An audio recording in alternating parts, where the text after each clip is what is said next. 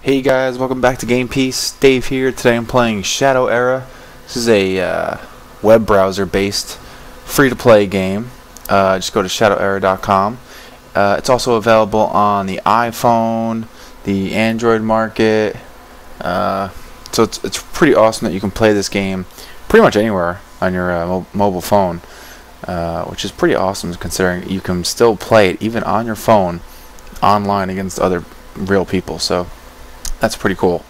Uh, so the first thing that the game asks you to do is pretty much pick a pick a hero, and these heroes pretty much represent uh, your guy as like your main guy. If, if your hero dies, you lose the game, and if you kill the other guy's hero, you win the game. So uh, the little life drop the little drop of blood down here is their life total. So this guy, if you pick him, uh, you know you start off with 30 life, but not all, like some start off with different amounts of 26 life. So there are uh, quite a number of heroes to choose from, and depending on what hero you pick, so they each have um, races and classes. So this guy's a human warrior, uh, and there are different ones. There's human hunters, then there's shadow hunters, um, shadow warrior, human priest. So depending on what hero you are, that will determine what type of cards you can put in your deck. Uh, I'll get I'll go over that a little bit more in, in a little bit. So basically, what they do is they'll give you a starter deck, and from there you get to play. Um, I would advise you playing in the world area, which plays against the computer AI, which are pretty easy to beat. And every time you beat them, you get gold and experience to level up. Go to your status. You can check your experience here and what level you are. Uh, it also has ratings, how much gold you have in shadow crystals. Um, the shadow crystals, you get 25 every time you level up. And you can use 100 of them to buy a booster pack or a starter deck, pre-con deck. Uh, these usually consist of commons, so I usually stick away from, stay away from them. At least the booster pack comes with at least one rare or epic card. Um, you can also, if you want, you can also buy shadow crystals, considering leveling is the only way to really obtain them. Uh, you know, it's not too bad if you really like the game and you want to show support. Uh, I'm definitely don't. I would definitely do it. Uh, Ten dollars and get you a thirteen hundred. Pretty much get you anything up here. Um, after that, these are all the cards available for you to buy. Nope, nope. These are the ones available for you to buy. Uh, there's only 200 cards right now in the game, so it's really easy to collect pretty much every single card. You can have four of each card in the deck. Decks usually consist of somewhere around 30 cards. There are no land in this game, so it's pretty unique to uh, pretty unique, which is nice because you don't have to worry about getting land flooded or land screwed. Um, purple down here represents epic cards. Green represents uncommon. White is common, and blue, if I can find one, are rare cards. So this is rare.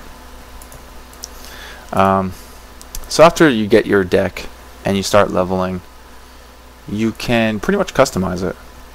And this is more. Uh, this is where I'll get into um, what type of cards are available for each hero. So this is my deck up here. As you can see, has 33 cards. You can have a bunch of saved decks, so you can pull one up. This is another deck that I have saved, 35 cards. Uh, you can have as you can have a minimum of 30 cards in your deck. I have yet to find a maximum.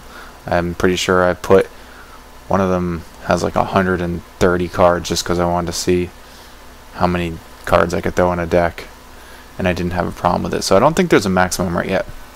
So let's just hit clear. Uh, the first thing you're going to want to do is choose your hero class. And to be honest with you, I'm a big fan of the hunters, but uh, I'll pick him for right now. Uh, so I'll pick Banebow. Comes in with 28 life. He is a shadow hunter, and he has an ability um, to do two damage up to do two different targets. Now this right here is shadow energy. Uh, you get one of these per turn. So it just it keeps going up, and it can uh, accumulate up to 10 shadow. He can keep up to 10.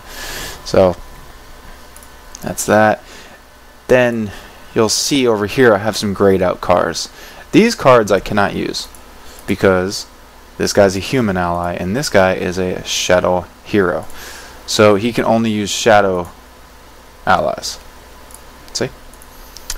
Um, also, these cards are grayed out because they're warrior abilities. So he's a hunter. Can't use the warrior stuff.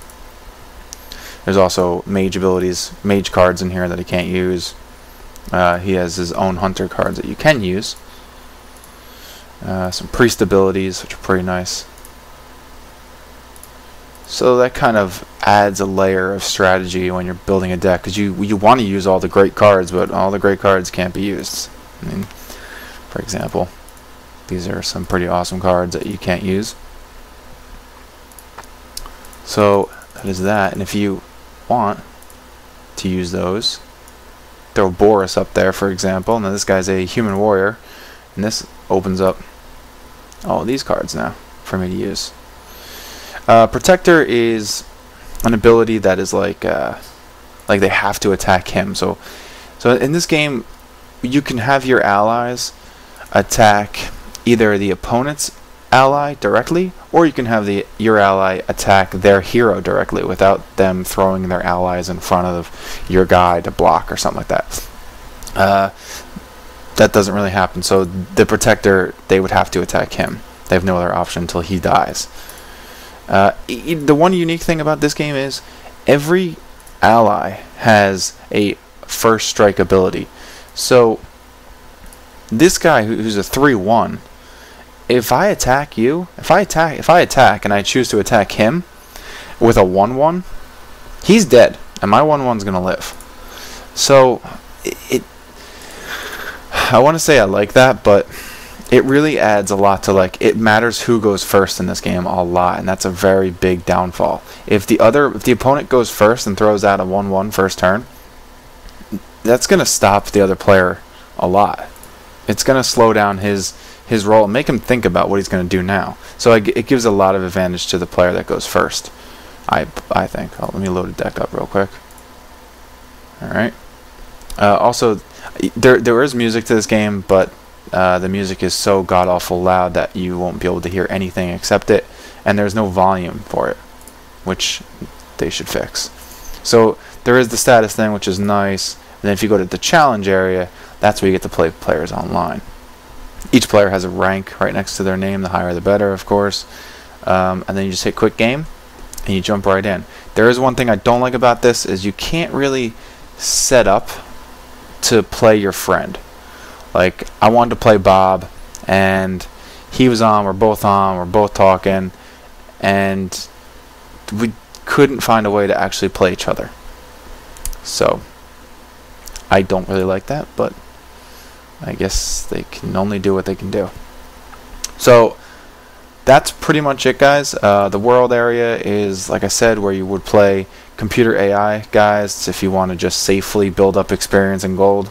Uh, pretty pretty easy stuff. Also, if you win against a player online, you also win uh, gold and experience. If they're over, I believe, a rating of 200, you gain double. You gain 40.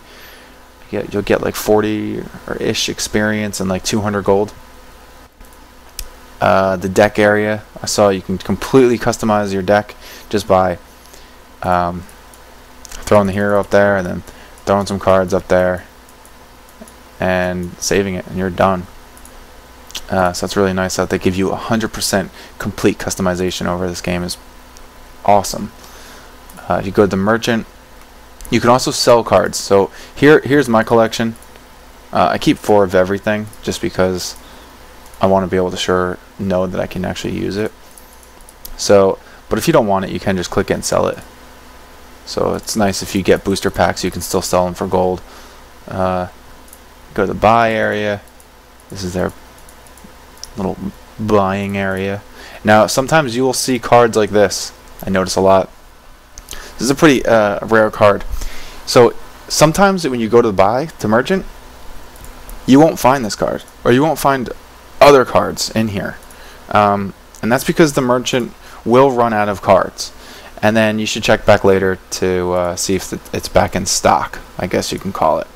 So it's kind of weird, but it took me a little bit to realize that. Um, that's about it, guys. The one thing I do say why I use the, the term free so loosely uh, is because it's you have to be level 5 first, and the, levels don't come easy. So you have to be level 5 first before you can buy either another pre-constructed deck or one pack of cards. Um, yeah, I guess it's kind of free, but if you really wanted to play and get and stand a chance in uh, online playing, then you'd probably have to at least spend a couple dollars, you know, five, ten dollars to really help yourself out and get um, a deck in here. Uh, th that that's my opinion on it. You could use some pre-constructed decks to, to actually win. I know the elemental deck is actually pretty good. I guess it's the best pre-con, I would say. Uh, but you know, overall, the game is good. I do like it. There are some things I'd like to fix on it, such as the sound, uh, for one. The fact that every character has, every ally has the ability to first strike another guy is kind of, kind of weak because it really does. Whoever goes first and whoever gets out there first and rolls goes first is really gonna put a hurting on the other player. It gives, you know, it, it's not like they're gonna win entirely, but it does give them a small advantage, and I don't really like that. So um, I'm not going to go over too much gameplay right now. I'll, ma I'll make a separate video for that. Uh, basically, I'll show you how it works without land, and I'll show you how the shadow energy works and stuff like that. So I'll save that for another video. Uh, check back if you want to check that out. So I think that's pretty much it for this video, guys. Uh, you know, it's definitely a game worth checking out. It is free to play, so uh, I advise you if you like Magic the Gathering or any other uh, CCG, uh, uh, you know, it's definitely worth the check out.